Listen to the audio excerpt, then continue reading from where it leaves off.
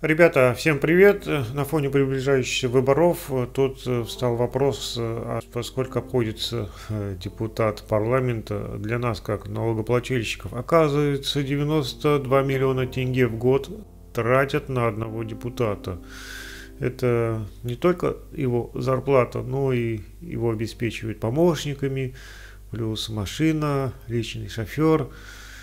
И теперь вопрос, а нужен ли нам такой депутат, который так дорого нам обходится. Тем более депутат, который э, нами не выбран, а назначен. Еще информация. Оказывается, э, партии, которые прошли в парламент, э, содержатся за счет госбюджета. Только партия Нуратан за этот год получила около 8 миллиардов тенге. Ну и КНПК партия, тоже провластная, типа коммунистическая, она получила около 700 миллионов, и партия Акжол, партия бизнеса, партия Машкевича и э, других э, так называемых э, представителей бизнеса крупного и среднего. Так вот, э, они тоже, эта партия получила 700 миллионов тенге в этом году на содержание. И эти партии, эти депутаты содержатся за счет нас. Вот от сердца могу сказать, да, а, за что? За что им такие деньги, такие огромные траты? Их надо к чертовой матери разогнать. Нам не нужны такие депутаты, которые не выбранные народом. И вот э, этот вопрос особенно встает остро накануне выборов, которые вот скоро, через полтора месяца, 10 нужны ли нам такие партии, партии, которые э, ничего не делают. Особенно партия Нуратан. Что это за партия? Это партия власти. Сколько лет этой власти, которая сидит безвылазно? 30 лет. Когда вы будете голосовать за эту партию, это не все равно, что голосовать за Э, продление этой власти, продление ее существования. Кто-то, наверное, скажет, ну вот, э, надо голосовать за партию Нуратан, поскольку э, эти хоть типа наворовались, а другие придут и заново начнут. Что за примитивное рассуждение, подход? Нет, деньги они как соль, их много никогда не бывает. Чем больше пьешь потребляешь соленую воду, тем больше хочется пить. Сегодня миллионы, завтра сотни, послезавтра миллиарды и всегда мало. У них там гонка, кто богаче.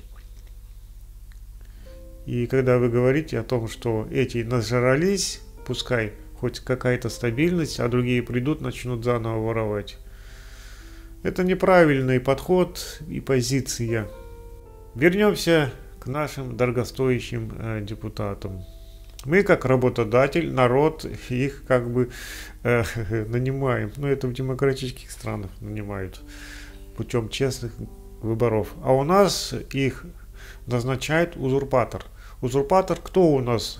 Вот эта власть, которая 30 лет сидит, не меняется. Ну, видимо, создает вид, что меняется через выборы, которые она проводит, э, которые, ну, не особо-то и честные. И теперь вот 10 числа мы должны прийти к своим избирательным участкам и отдать свой голос. И очень большое разочарование, неверие людей вообще к выборам. С этой точки зрения можно, конечно, понять всех нас. Э, нас постоянно обманывают. Проходят какие-то непонятные люди, получают огромные зарплаты, непонятные какие-то партии проходят, э, получают огромные э, госфинансирование. А в итоге какие законы на выходе? Какие законы? И сами депутаты какие, молчаливые законы, по которым жить аж становится страшно, и они идут в разрез Конституции РК. Это вот все наши депутаты нашей партии. И теперь у нас, конечно, разочарование, а зачем нам идти тем более выбора нет. Власть нам не, не оставила никакого выбора. Но выбор всегда есть. Да, скудный, но он есть. И надо идти и голосовать за любую партию, кроме как партии Нуратан. Это я еще раз э, повторяю и буду повторять. Использовать строку другой партии как голосование против партии Нуратан. Это точка. Ну а чтобы голос не украли, его надо контролировать. И значит, помимо того, что мы идем голосовать, мы идем еще и записываемся в наблюдатели, в народные наблюдатели. И в день голосования идем на свои избирательные участки с мандатами наблюдателя и наблюдаем, чтобы выборы были честные. На этих выборах э, мы не просто должны защитить свой голос. Как бы это странно ни звучало, мы должны защитить наших бюджетников. Вы же знаете сами, как из чего формируются избирательные комиссии? Из бюджетников это в основном учителя, медики, да. И что они там делают, как они считают, все мы знаем. Но кто их ставит вот в эту унизительную позицию, используя их зависимости, используя их положение, но их положение, они как бы как э, батраки политические при власти. И вот их используют, дают, используя их зависимость, и они делают на этих выборах, считая так, как им скажет власть. Так вот, наша задача еще и защитить эти комиссии. Вы понимаете, когда на избирательном участке будут сидеть независимые наблюдатели, а, которые будут знать законы, в частности, как вести мониторинг, наблюдение, где а, могут быть нарушения, если где нарушения, эти наблюдатели начинают поправлять эту комиссию избирательную. И когда сидят такие независимые наблюдатели, сильные, то членам избирательной комиссии легче. Знаете, почему легче? Потому что у них есть всегда повод оправдаться. Мы не можем э, делать эти выборы так, как вы говорите, власть сверху спускает им. У нас наблюдатели сидят, мы не можем, мы не можем, мы не можем не так считать. Они же прям над душою стоят эти наблюдатели. Чуть что, сразу акты выписывают. У них видео, они фиксируют, снимают все, выкладывают в социальные сети, Facebook, YouTube. Мы не можем. И у них есть уже оправдание перед вышестоящими. Ну, не нарушать выборное законодательство, а считать и, в общем, вести выборы таким образом, чтобы они соответствовали закону. И таким образом мы защищаем мы как независимые наблюдатели, которые идут наблюдать, мы как бы еще защищаем этих наших бедных учителей, которых поставили в такое положение. А вот кто-то говорит, что как они нас могут учить, учить наших детей, такие учителя, которые вот, а, вот в этих делах участвуют, да, вопрос справедливый, конечно, вопрос справедливый. А, но с другой стороны, они зависимые, они зависимые. И чтобы поднять свой голос возмущения, должна быть поддержка. Должна быть поддержка. Если этой поддержки они не чувствуют, они просто склоняются. А, просто склоняются. Основная, можно сказать, линия на этих выборах – это прежде всего добиться, чтобы выборы были честными. Проконтролируйте эти выборы. Имейте в виду, никто не спустит и никогда вам, что выборы, ну вот так, взялись и честные проводятся. Да нет, э, честность там, где есть контроль. А контроль могут осуществлять только наблюдатели. Наблюдатели а, по закону о выборах, у них есть э, все возможности, все механизмы почти для того, чтобы а, упреждать все эти нарушения. И имейте в виду, вот кто-то говорит, что ну что толку, что наблюдатели там сидят, э, выявляют нарушения, ну выявили, и что, вот они особенно ссылаются на 19 год, когда Касанов проиграл, и типа проиграл, но он выиграл. И, и что из этого? Вот. Э, суды, э, да, некоторые наблюдатели пошли в суды, чтобы оспаривать решения, но суды отвернулись, приняли неправосудные решения, принимали. Но смотрите, ведь главный, главный судья, кто? Главный судья это народ. Вот, вот это главный. Народ это источник власти. И когда наблюдатели выкладывают в социальные сети видео, доказательства, акты о нарушениях, реальные протоколы о результатах голосования живой печатью, и общество это видит, общество судит уже об этих выборах. Общество, народ, самый главный судья. Не тот судья от власти, который сидит там в теплом кабинете и от имени как бы государство, но, но на самом деле от имени чиновника вершит э, так называемое правосудие. И когда говорят, что судья защищает интересы э, власти, но имейте в виду, что э, защищать интересы власти, это не значит защищать интересы государства, равно как защищать интересы государства, это не значит защищать интересы власти. Это две раздельные вещи. Так вот, эти судьи, они защищают интересы не государства, а власти, которая их туда назначила. Поэтому можно утверждать, да, все а, заявления, иски, которые подавались в суды на нарушение выборного законодательства в ходе тех выборов, предыдущих выборов, судами отклонялись, потому что суды они не государственные, они чиновничьи, вот и все. Но они не авторитет сейчас в глазах общества. В глазах общества авторитет – это источник власти, это народ. И вот народ, когда видит, исходя из того, что выкладывают наблюдатели, говорят протоколы, они уже складывают свою картину, кто все-таки победил. И если они видят, что власть опять прокатила, общество, народ, тогда народ уже сам принимает решение, что делать, делать как быть. И в суды обращаться. Суды не работают. Мы же знаем, в прокуратуру это власть. Ну вот, и тогда э, у народа перед глазами стоит выбор, как заставить власть считаться с нашими голосами. Как?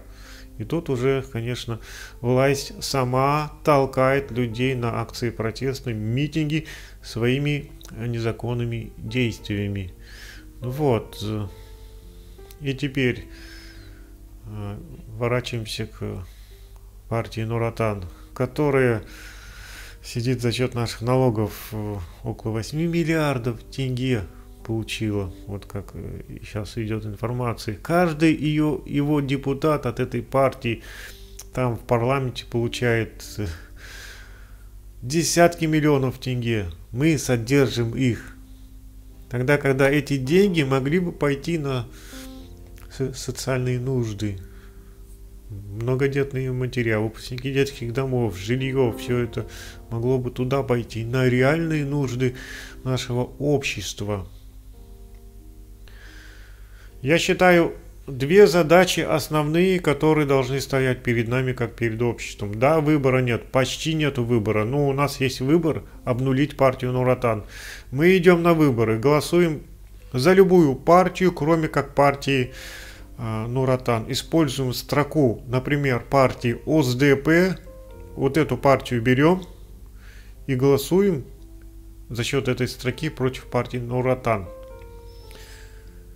И второе, очень важное, для того, чтобы выборы были ясны, как Божий день, как они проходят, там должны сидеть наблюдатели.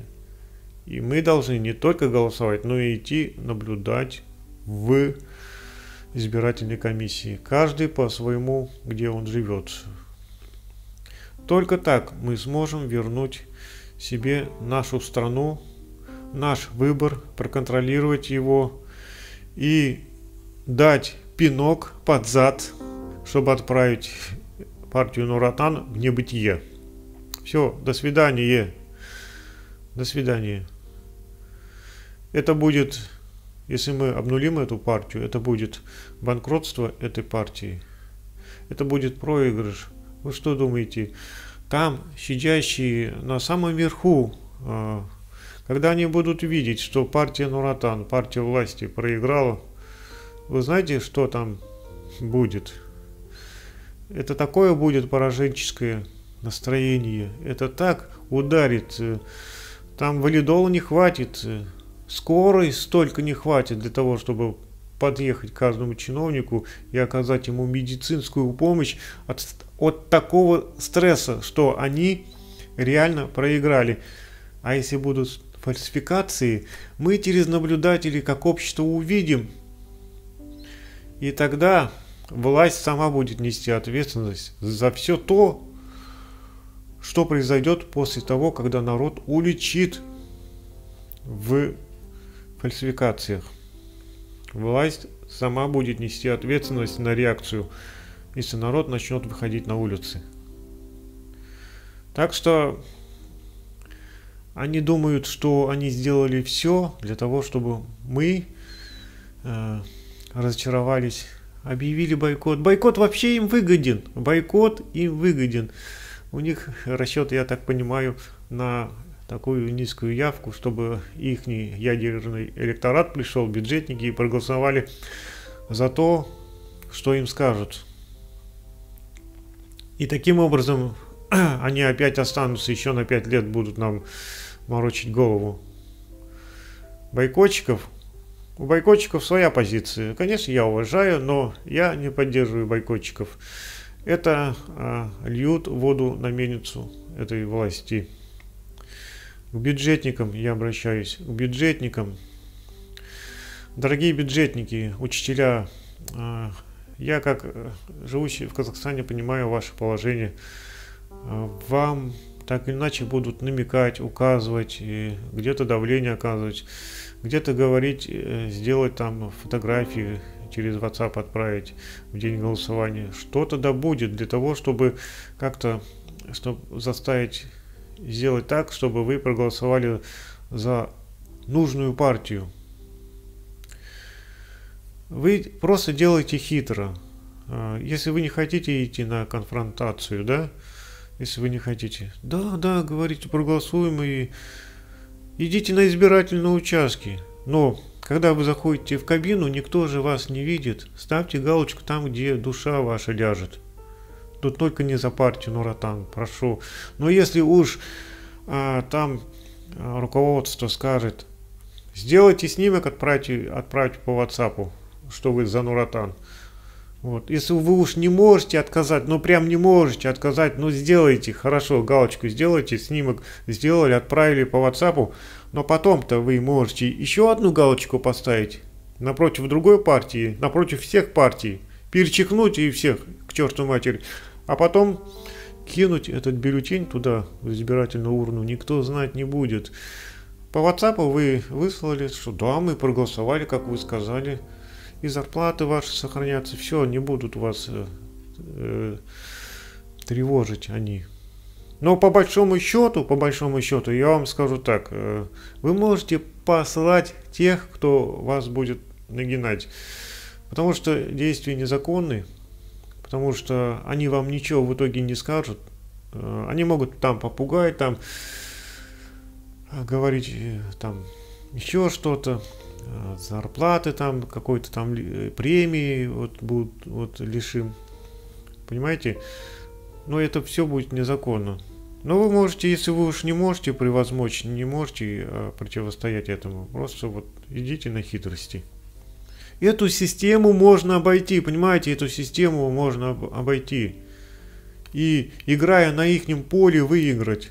Пускай даже правила на их стороне которые они придумали для себя, для того, чтобы сделать все возможное, в случае, если а, чего, все равно выиграть.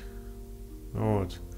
Но выиграть они могут в том случае, если э, народ реально проголосует за партию Наратан, а наблюдатели это зафиксируют. Но этого не может быть, потому что партия Норотан потеряла доверие.